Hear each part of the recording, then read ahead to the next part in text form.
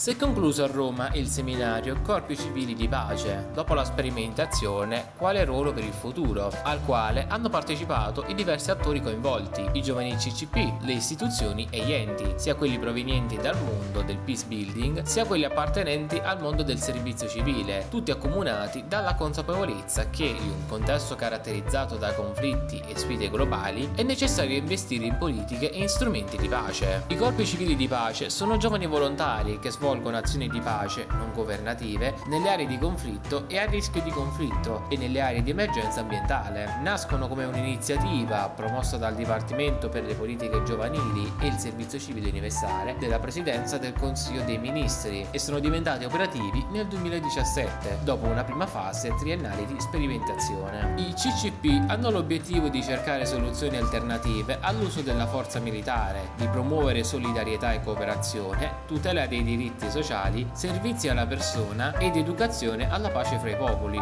Entrano nelle comunità dove vanno a operare e le affiancano, condividendone preoccupazioni e bisogni. Prendono parte a progetti pensati per promuovere la pace e salvaguardare i diritti attraverso comportamenti e tecniche che aiutano a prevenire l'aggravarsi della situazione e trasformare i conflitti in meditazione, dialogo e riconciliazione. L'istituto dei CCP deve essere stabilizzato, qualificato e potenziato, hanno evidenziato le testimonianze testimonianze dei giovani che hanno appena concluso il servizio. A loro, vari protagonisti di questa sperimentazione, va il ringraziamento della Cinesc per la dedizione e l'impegno mostrato. L'esperienza maturata in questi anni sarà fondamentale per costruire un nuovo paradigma di sicurezza che riconosca il ruolo centrale dei civili nella prevenzione e trasformazione non violenta dei conflitti.